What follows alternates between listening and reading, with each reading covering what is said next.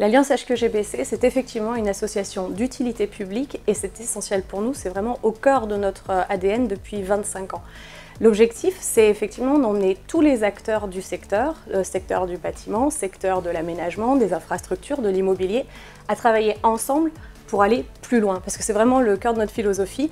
Ensemble, on va plus loin et on peut euh, conquérir de nouveaux projets pour le développement durable. Les missions de l'Alliance HQEGBC, c'est de travailler sur quatre piliers qui sont la performance économique, la performance environnementale, la qualité de vie pour tous et bien sûr un management responsable.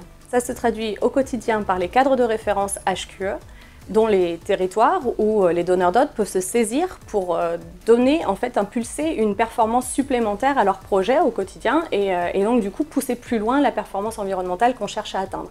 Donc ça c'est libre d'accès, chacun peut y avoir accès. Ça se traduit aussi par nos travaux de prospective. L'objectif, c'est qu'on puisse aller chercher le, coup d'avance, les signaux faibles et de pouvoir amener tout le secteur à s'interroger aux problèmes avant qu'ils se posent.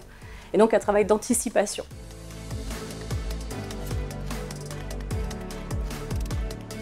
La base Ignès et la RE 2020, c'est un excellent exemple de l'anticipation du secteur.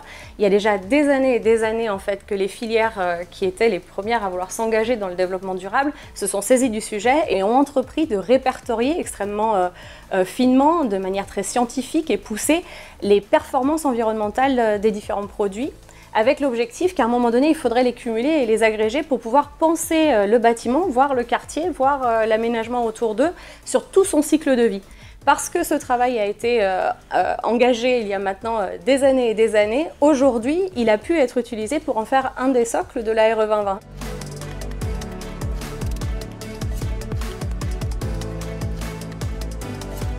Effectivement, maintenant la RE 2020 est là, elle est présente, donc le rôle de l'Alliance HQGBC, c'est d'abord l'accompagnement, c'est d'abord aider nos, partenaires et nos adhérents on fera la même chose en nous investissant aussi sur le sujet du label qui accompagnera la RE 2020. Avec ce label, on proposera aux acteurs de s'engager avec nous à essayer d'explorer plus loin les sujets de la rénovation, les sujets euh, de la qualité de l'air intérieur, les sujets de la biodiversité, de l'économie circulaire et, encore d'autres choses, en le construisant ensemble dès maintenant avec euh, cette méthodologie qui est la nôtre et avec nos partenaires, on pourra devenir confiant dans le fait que cela pourra être massifié euh, dans quelques années, quand ce sera le moment, de la même façon, d'en faire une nouvelle réglementation.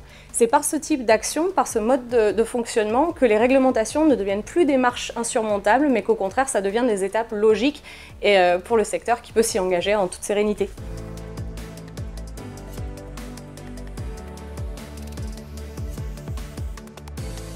C'est vrai, l'urgence climatique est extrêmement présente, euh, les changements sont extrêmement nombreux en ce moment, donc c'est vrai qu'il se passe beaucoup de choses, ça foisonne, et tout ça, ça peut, euh, ça peut être un petit peu inquiétant.